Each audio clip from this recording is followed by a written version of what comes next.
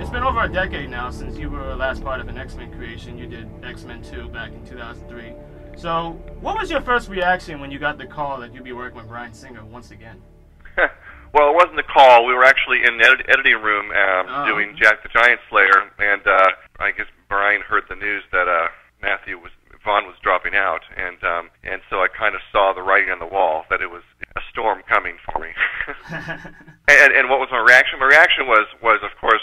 Well, it's always a double reaction for me. First, it's I, I feel overwhelmed already before we even start, and um, I already was finishing two years on Jack, but also um, exciting because it's X Men, and I always fancy those uh, that time during X Men Two as being a uh, as being a, great experience for me. Both it was both exciting because it was uh, a world that I, I was thrilled to be in, and um, and also because it was my first really big project to take on, and um, and it also just went very smoothly. There was very little interference from the studio, and I just I just recall it being uh, a good experience.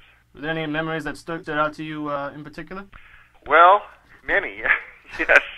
I remember one moment in particular when we had an internal test screening, Hmm. and the the chairman at the time, Tom Rothman, stood up in front of the uh, in front of the theater and said, "You know, I'm concerned about this being just massively confusing. I think the audience is going to not understand anything." And and um, his 11 year old daughter stood up next to him and said, "Oh, Daddy."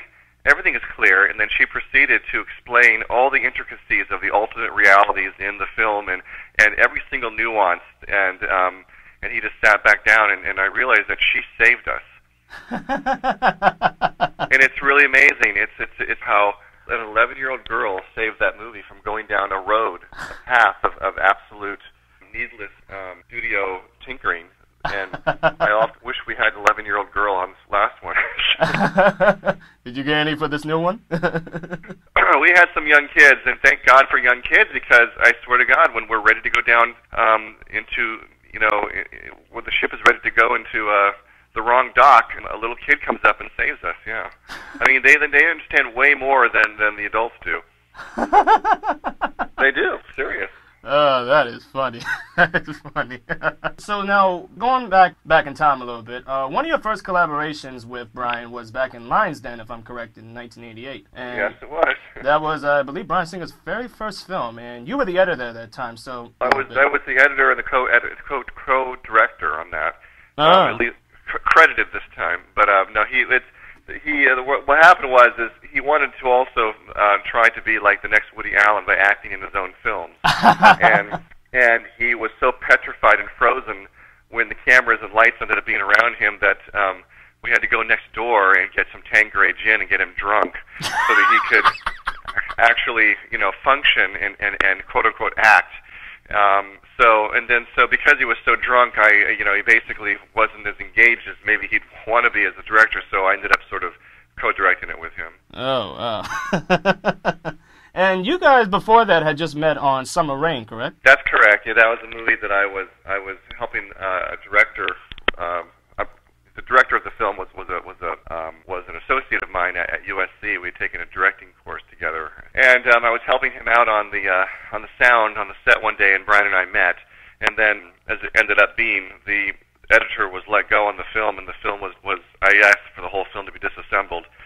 I didn't want to see it in the way it had been cut together, and I recut the whole thing and told a new kind of a new story through the eyes of this little girl uh, because the film was a period piece, so I could I could have an old woman recount what was happening in the story. And Bryan saw this and sort of remembered and, and then brought me on uh, to work with him on Lion's Den. Hmm.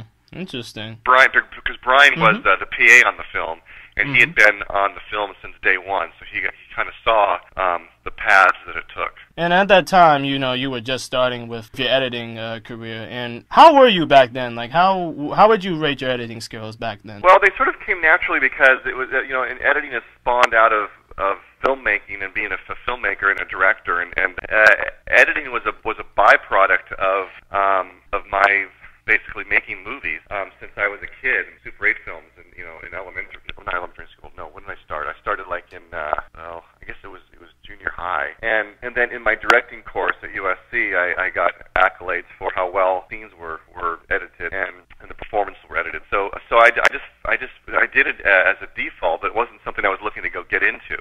Then um, when I started working with Bryan, I just inevitably fell into the, to the editing because he asked me to do it, and then I ended up editing films for people, but it really wasn't what I was looking to do. But that's how life is, you know. Yeah, yeah. and that actually leads to my next question. Now, over the years, well, along with editing, you've done some composing for films. So right, and that and that that's mm-hmm. another example of how you end up going to the place you least expect to be going in life. Because uh, I was a film score geek, and all I listened to was film music and classical music as a kid, and, and I was a geek. Period. But um, and then uh, when Bryan and I were doing our first feature film public access, um, the composer um, dropped out at the last hour, and we had a Sundance deadline, so I scored the movie as I and, and I had been doing that as a hobby. And then, of course, the rest is history. Uh, the uh, the people sort of singled out the music and the editing and realized it was from the same guy. And then when we when we put the usual suspects together, um, I just wanted to score the movie, but Bryan insisted that there was no way I wasn't going to edit it. So mm. the same blackmail continues to this day. And I've always wanted to ask this question to um, the editors and composers: um, Is one harder than the other? And also, which one is your favorite? Uh, not to belittle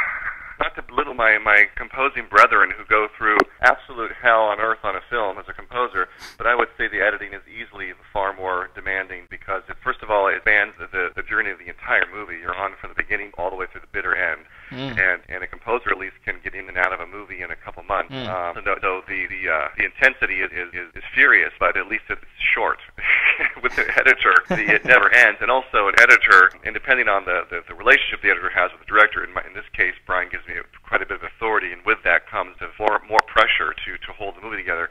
It, there's just a rat's nest of loose ends that an editor has to has to constantly deal with from every facet, whether it's music or ADRing the actors or visual effects problems or storyboarding sequences, uh, coming up with pre-visualizations that you're going to shoot and working with the previs artists. And I mean, so editing is a lot more than some person sitting at a computer and, and, and basically uh, making scenes work. It's it's just uh, I always liken it to people who don't know what a film editor does. I just say, well, imagine the editor of a newspaper or a magazine, basically that kind of responsibility. I would say uh, the editing is far more demanding, and I would say I enjoy composing because I can be in and out, and um, you can change it up too. You can go from one genre to a next, and, and maybe do three or four different genres in one year, as opposed to being trapped on the same thing. You know. So now going into this film with X Men, um, this film has such a dark tone to it, but also some moments of humor. How do you determine what music can go with what scene? Do you go by the portrayal of the character or the environment that they're um, that they're in?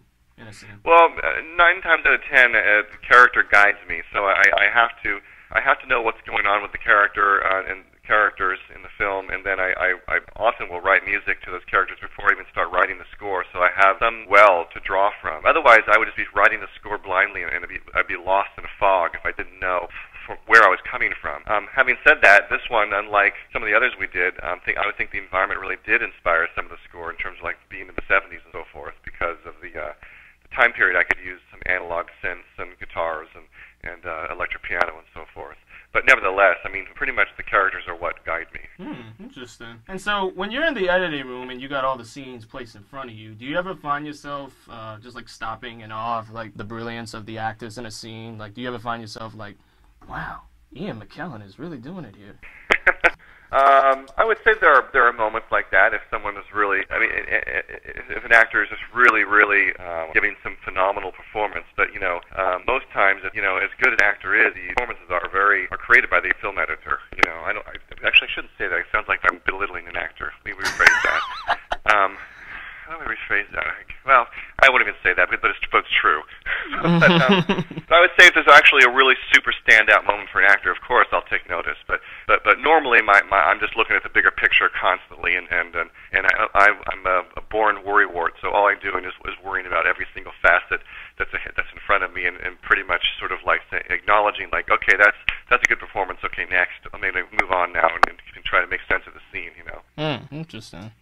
All right, and one last question I got here. Out of all the films you worked on, Usual Suspects, X Men 2, and Jack the Giant Slayer, uh, what was your favorite film that you worked on throughout your entire career?